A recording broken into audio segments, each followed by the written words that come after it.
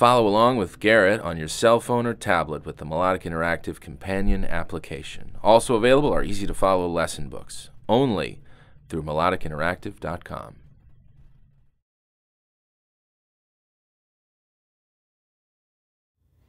All right, now we're ready to get started. So we're first going to start with what we call the quarter notes. The quarter notes basically mean that we hit the drum. The quarter notes are drawn as a filled in circle and a line, or they could be an X, which we'll get to in a minute. So first, we look at number one, we have four quarter notes. Notice that those notes are in the third space up of the stanza. That third space is our snare drum. So on number one, what we're going to do is we're going to play one, two, three, four on our snare drum. We start that over and over again though, and we don't want to pause. So we want to go one, two, three, four, one, two, three, four. You saw how I went right into that. I didn't break. I didn't go one, two, three, four, one. I want to go right in.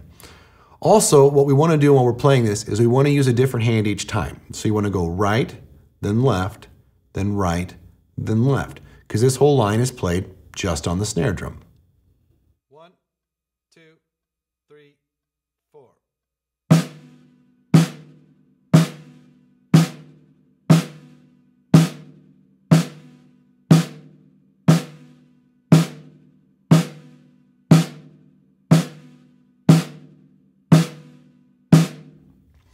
Okay, now, now that we're able to understand what quarter notes are, let's try to put them in a drum set perspective. So first, we're going to look at beat two. We see quite a bit of things going on there, but let's break it down a little bit. Up top above the stanza, we have X's. Those X's are my hi-hat cymbals. So with just my right hand, let's play on the hi-hat.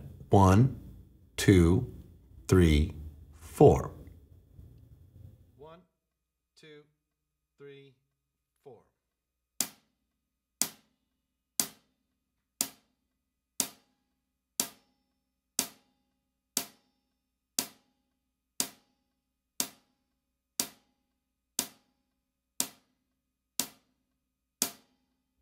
Good.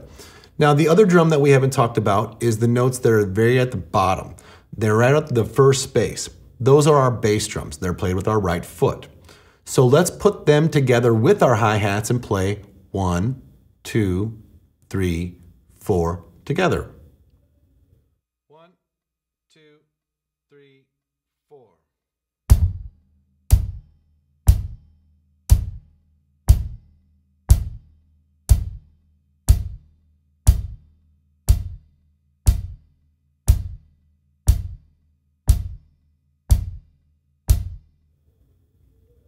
Awesome. Now we already learned which drum's in the middle. That's our snare drum. So, so far we've got our right hand on the hi-hat, our right foot on the bass drum, and now our left hand is gonna play the snares. Notice that the snares though, they don't play on all four. They only play on the two and the four. So on the one, we're gonna hit the hi-hat and the bass drum foot together. On the two, we're gonna hit the hi-hat, snare drum, and bass drum together. On the three, just the hi-hat and the bass drum again. And then the four, the hi-hat, snare drum, and bass drum again. So let's try the whole beat. Beat number two. One, two, three, four.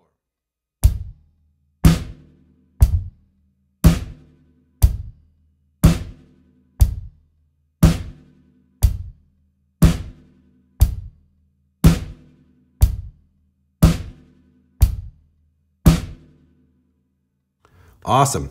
Okay, so now let's take a look at beat three. The first thing we want to try to figure out is, is what's different.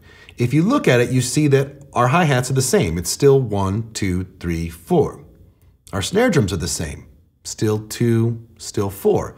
So the change is going to come from the bass drum. On beat two, we had the bass drum on one, two, three, four.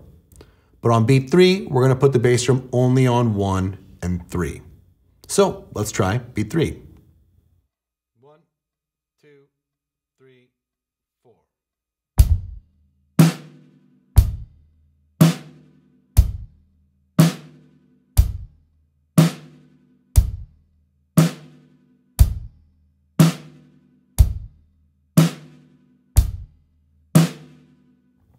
Awesome. Quarter notes, simple, basic of everything that we do. But there's more notes than that. The quarter notes are that beat, that one, that two, that three, that four. But we need other notes. So the first note we're gonna learn is the eighth note. That note comes in between the quarter notes. You can see that they draw a little line above the top to let you know that it's not a quarter note, it's an eighth note. The way that we count all eighth notes is the same. We say and. So if we put all the eighth notes in with the quarter notes, the count is one and two and three and four and. And that's exactly what we're going to do on number four. We're going to play on just the snare drum. We're going to go right, left, right, left again. And we're going to play one and two and three and four and. So let's try that. Number four.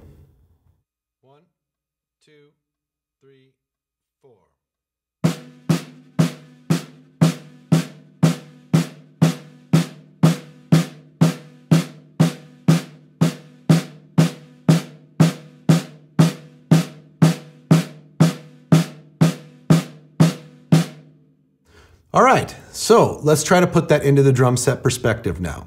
Let's first start with just our hi-hats. If you look, our hi-hats now are playing that eighth note pattern. So with my right hand, we're gonna play just the hi-hats, the one and two and three and four and. And make sure you're not just saying the ands, but you're actually hitting the hi-hat on those ands also. So let's try just that hi-hat pattern, that one and two and three and four and.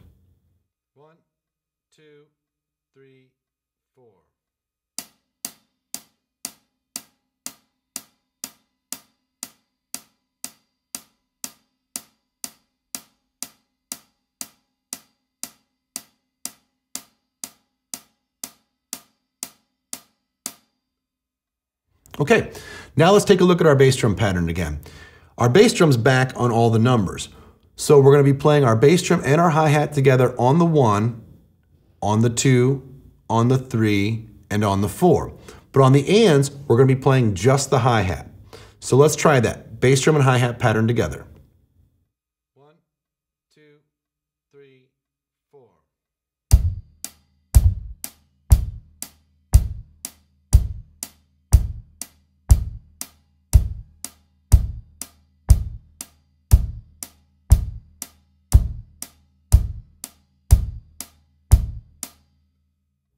Great. So now we've got our bass drum and hi-hat. Let's pop that snare back in. That snare is going to be on the two and the four.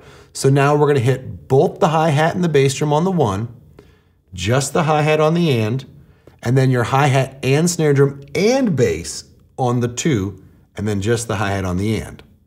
The three is going to be hi-hat and bass drum. The and is just your hi-hat. Your four is going to be hi-hat, snare, and bass, and then your four just the and. So let's try putting that whole thing together. One, two, three, four.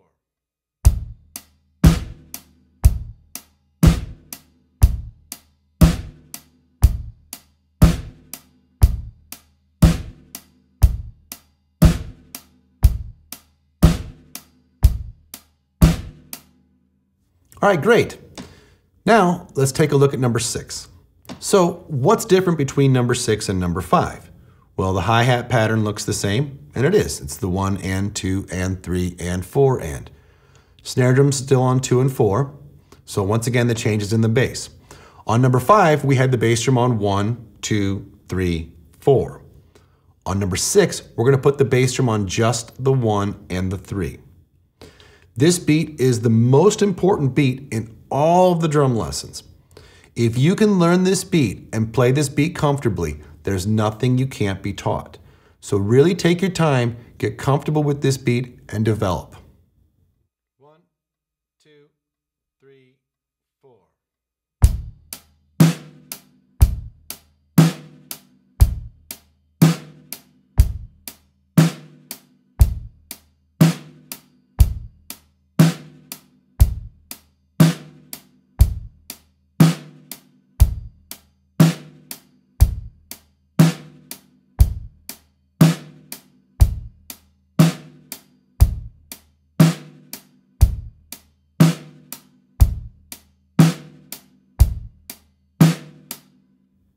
Great job. Now we've got our first beat.